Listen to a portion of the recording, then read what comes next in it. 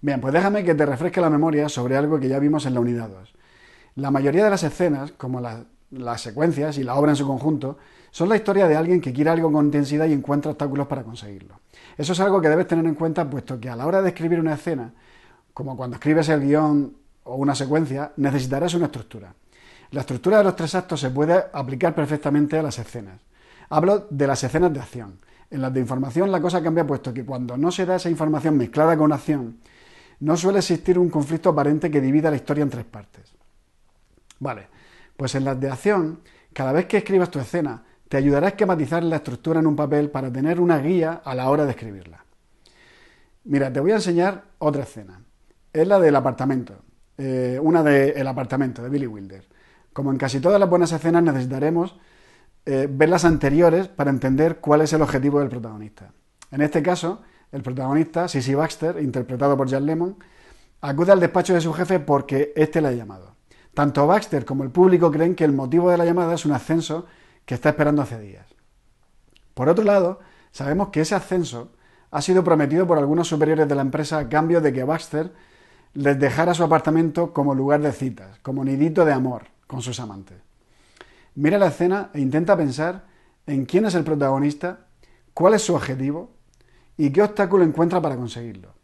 Después lo analizo para que veas de qué hablo. ¿Baxter? Sí, señor. Adelante, entre. Estaba curioso por saber qué aspecto tenía. Eh, siéntese. Sí, señor Sheldrake. Me han informado favorablemente de usted.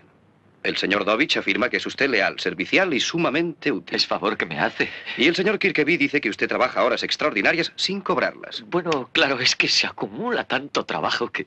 El señor Vanderhoff de Publicidad y el señor Eichelberger de Préstamos y Créditos han pedido ambos que sea usted trasladado a su departamento. Oh, me siento muy halagado. Dígame, Baxter, sinceramente, ¿a qué se debe su popularidad? No lo sé. Reflexione.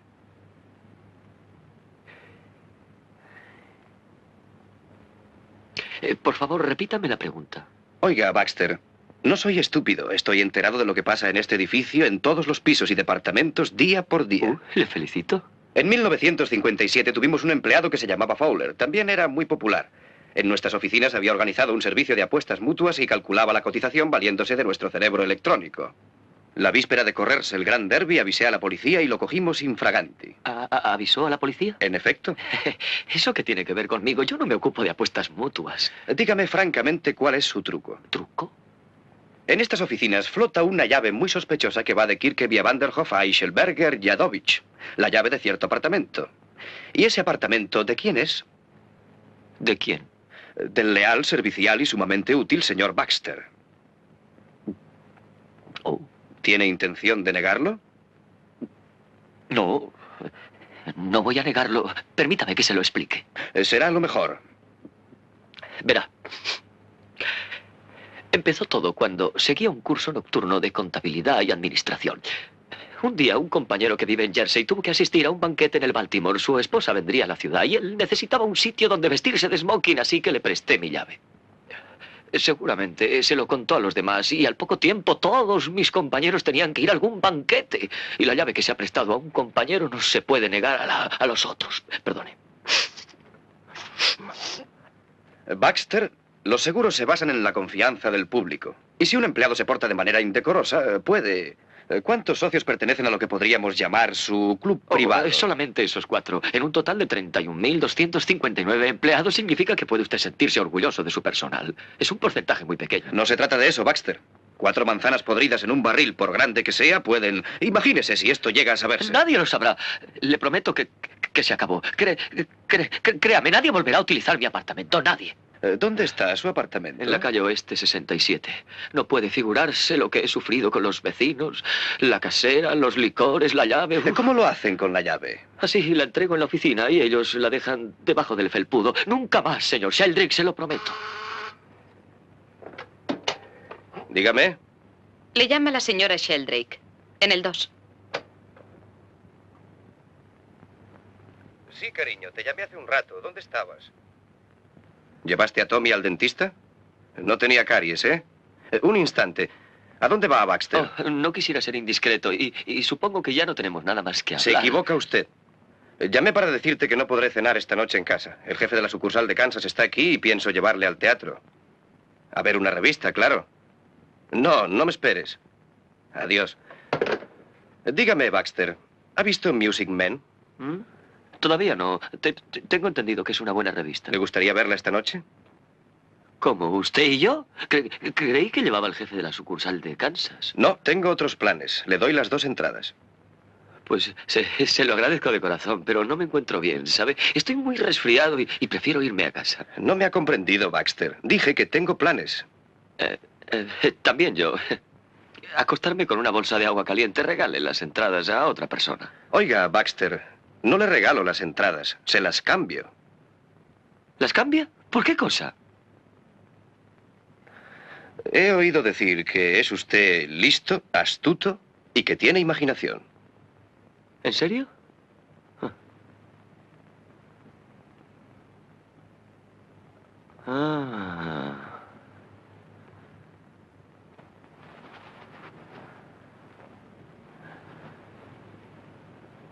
¿Se trata de esto? Acertó usted, Baxter. El mes que viene habrá cambios en la sección de personal y me parece que tiene usted madera de directivo. ¿Lo dice sinceramente? Deposite la llave. Y deme su dirección. Le, le diré, es, es en el segundo piso, no hay nombre en la puerta. Solo dice apartamento 2A. Ah, ¿Está resfriado? Tranquilícese, Baxter. Sí, señor, gracias. Oh, tenga cuidado con el tocadiscos bajito, ¿eh? Ah, en cuanto a los licores, esta mañana encargué unas botellas, pero no sé cuándo las llevarán. Recuerde, Baxter, que esto es un secreto entre los dos. Oh, sí, descuide. La gente habla demasiado. No tema indiscreciones. Eh, No es que tenga algo que Oh, ocultar. claro que no, además no es cosa mía. Cuatro manzanas, cinco manzanas es poca diferencia en el porcentaje. Aquí tiene, Baxter. Gracias, señor. Que se divierta. ¿También usted?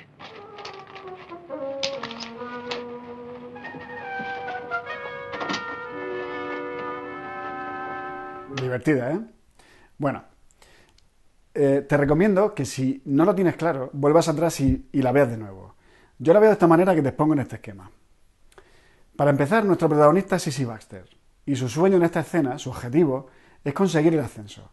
El sueño del protagonista es ¿conseguirá Baxter el ascenso? La respuesta a esa pregunta eso es, es parcial. Si bien no lo ha conseguido, al final sí parece estar más cerca de ello gracias a dejarle el apartamento al jefe. En algunos casos el sueño, el objetivo del protagonista, se cumple de forma inequívoca. En el caso de esta historia, convenía que no se produjera aún para mantener más tiempo la tensión a esa pregunta. ¿Ok? Pues en el primer acto, que dura un minuto 25 segundos, vemos cómo el jefe nos hace creer que por ahí van los tiros, por el ascenso, ¿vale? Lo adula y todo esto. Pero a mitad del primer acto, una pregunta desconcierta a Baxter y al público. ¿Cuál cree que es el motivo de su popularidad? Esa pregunta es el detonante de la escena. Digamos que es la primera vez que tememos porque el objetivo no se alcance. El segundo acto, el comienzo del segundo acto, eh, se presenta claramente, eh, se presenta porque se presenta un obstáculo para el protagonista. El jefe sabe que Baxter deja su apartamento a otras personas para asuntos, digamos, inmorales. ¿Por qué es un conflicto para Baxter? Porque como todo buen conflicto, presenta dos opciones para el protagonista, una mala y otra peor. Si niega lo del apartamento, malo, porque el jefe ya lo sabe y eso sería mentirle, lo que perjudicaría su ascenso. Si lo reconoce, si lo admite, peor, porque es inmoral y también perjudicaría su ascenso. Así que toda esta parte, todo el segundo acto, tiene que ver con que si el hecho de que su jefe sepa lo del apartamento sea un problema para el ascenso. Entonces la tensión principal, la tensión del segundo acto, eh, podría ser, ¿será el asunto del apartamento, sería lo del apartamento un problema para el ascenso? Y todo el segundo acto, toda esa parte tiene, que dura 3 minutos y 5 segundos, eh, el doble que el primer acto, trata de Baxter lidiando con ese problema, el del apartamento. Al principio da explicaciones, luego promete no volver a hacerlo y después ve que el jefe también quiere beneficiarse del apartamento a, eh, cambio de unas entradas. El segundo acto termina cuando Baxter deja la llave encima de la mesa y vemos que el apartamento no solo no va a ser un problema, sino que será una solución para el ascenso. La tercera parte, el tercer acto, eh, que dura también la mitad del segundo acto, un minuto 23 segundos, es para que Buster le ponga las cosas fáciles al jefe, le haga un poco la pelota y, y se marche del despacho aliviado por haber solucionado el asunto. Bueno, pues esta sería una estructura de una escena en la que alguien quiere algo y encuentra obstáculos para conseguirlo. Y como ves, es igual a la que podríamos hacer en una secuencia o en una historia completa, ¿ok?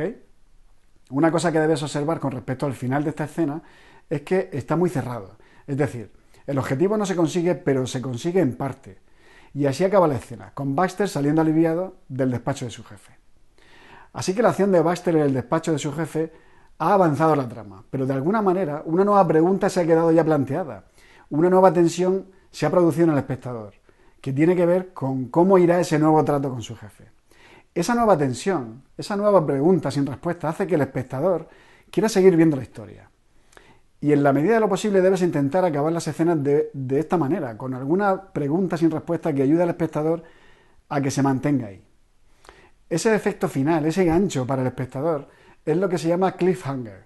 Y me gustaría que fuera un término que no olvidaras porque te va a ayudar a captar la atención del espectador. ¿Ok?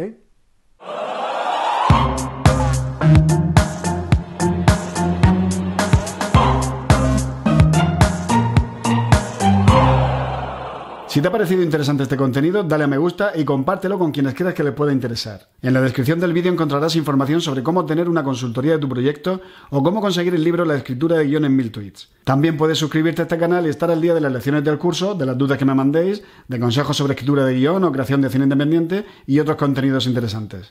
Gracias.